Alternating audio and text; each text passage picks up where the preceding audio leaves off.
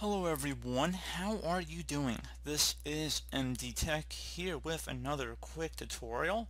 In today's tutorial, I'm going to show you how to go about resolving a Microsoft Windows PowerShell error when you're attempting to write or run PowerShell or batch scripts where you come across that you are unable to run the script because running scripts are disabled on this system.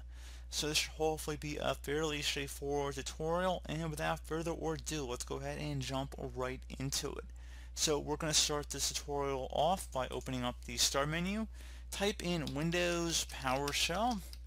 Best match to come back a Windows PowerShell here. Go ahead and right click on that and then select Run as Administrator. If you receive a user account control prompt, select Yes.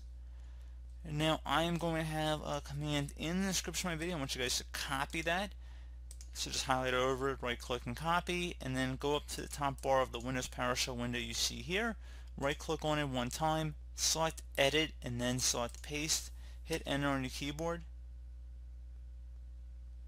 tap the Y key on your keyboard, it's just the letter Y, hit enter, and then that should be about it. Attempt to run whatever commands or scripts you're having an issue with before, and that should be able to resolve the problem. So please keep in mind you did need administrator rights in order to run that command. So pretty straightforward process here guys. Do hope I was able to help you out and I do look forward to catching you all in the next tutorial. Goodbye.